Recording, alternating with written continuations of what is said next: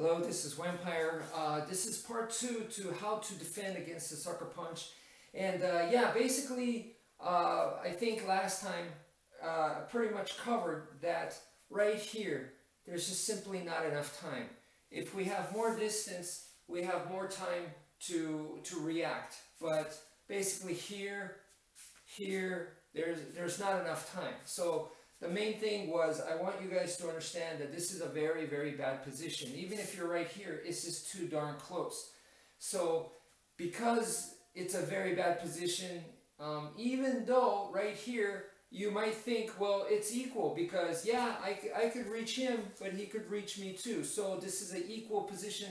It's not. It's not 50-50 chance because he's the bad guy. He's going to attack first that gives them a huge advantage. Okay, uh, people don't understand that. So because of that, this is a terrible, terrible position. They have the advantage. Uh, the example I gave you guys was it's the same as like if you watch a UFC fight where the guy's mounted on top of you throwing punches like that. You have to view it that way, that this is a terrible spot. Even if they don't go first, right? Even if they're not going to throw the first punch, it could be either one of us this is still a very bad position just simply because, like I said, it's not enough time to react. So it's not like I'm going to have enough time to think and go figure out what move they're going to do to me, okay? And then I go into my arsenal of techniques and choose the correct response to whatever it is they're going to do and then to properly execute the technique. You know, it's just not enough time to, to do all of that right? So in the last video, I said to you guys is what, what's going to happen is you're going to flinch. That That's perfectly normal. That this kind of thing is going to happen. Some people jump, you know, uh, if it's like a shot to, to your balls or something, you know, you're going to flinch. And this is perfectly normal. So my main idea in the last video that I said was don't fight the flinch. Go with the flinch, okay? And you want to make the flinch response your friend.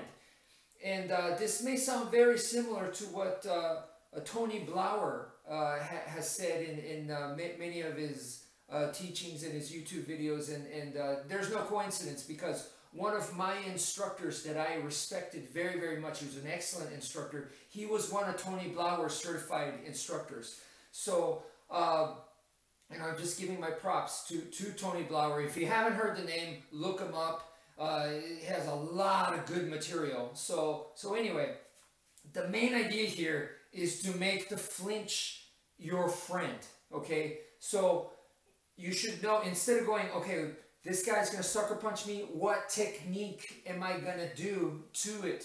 You know, how am I gonna counter that? Don't don't think technique. Like I said, you don't have time to grab from your textbook. You gotta go with the flinch. So what, whatever it is, flinch you do, go with that. And then number two is once you do it, don't be surprised that you're doing it. Keep going. Keep going, you know. Um, so, so those are the main two focus points. And then from there, we want to improve our position, right? Because I said this is a bad place. This is a bad position. So get to a better position. But the next thing that I want to really focus on in today's video is that every martial arts style even the ones that get criticized really bad on YouTube, like Wing Chun, Systema, and Aikido, every freaking martial arts style that I've personally see has a flinch response technique. Okay, it, it has stuff for you to go from a flinch and then go. They have techniques like that from this kind of bad, bad situation. It's just that whether you understand that or not, and I think most most of the people don't know that. They you got to know what you're looking for. You know. So uh, for example, a, a, quick response right here is is like let's take a look at Wing Chun. Right. A lot of their punches they tell you punch upwards. I'm not saying this is the only kind of punch they have, but they want you to punch upwards, and they say that's because it gives you more power. You're involving your spine and all this. You know what? Punch up and put your chin up like this any pro fighter, any anyone who's done any kind of fighting will tell you that that's a bad idea. That you're raising your chin up and you're gonna get knocked out, right? Yes, from a fighting, once once we get to here, once I've improved my position and I'm here, absolutely, that's a bad idea. But from this situation, when you're this close, because a street fight, does start differently from a professional match, right? Or or just like a challenge match, a challenge fight. It they don't start the same. That's a fact. And most people who and, and yes, right now I am saying sport and street is different.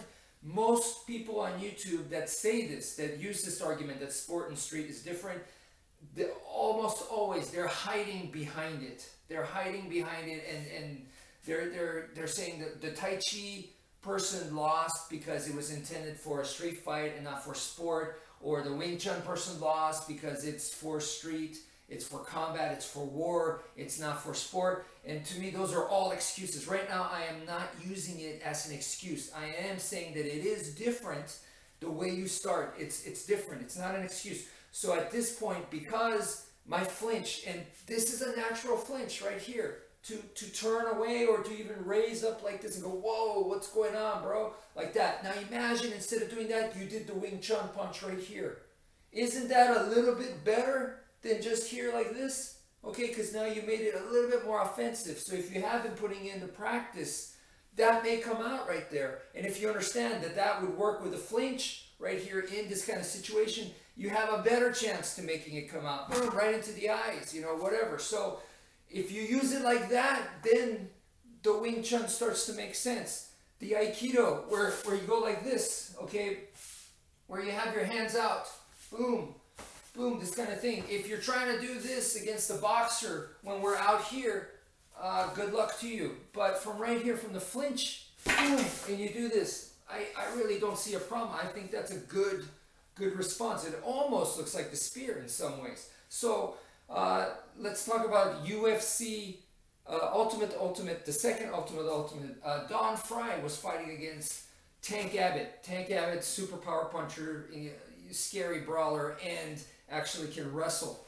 This dude was they're fighting each other, and Don Frye already got hit. The first jab I think knocked him down, and his legs are already jello right here. So he's wobbling, but instead he goes forward instead of going back like most people. He goes forward and he's actually able to uh, make Tank trip on himself. Why? Because Tank's trying to hit him so hard that he loses his balance and he didn't expect the guy to be coming in on him like that. This right here, not that different from a Muay Thai stance right here. And Don just kept going and I'm sure at that point it was almost just survival instinct just kicked in.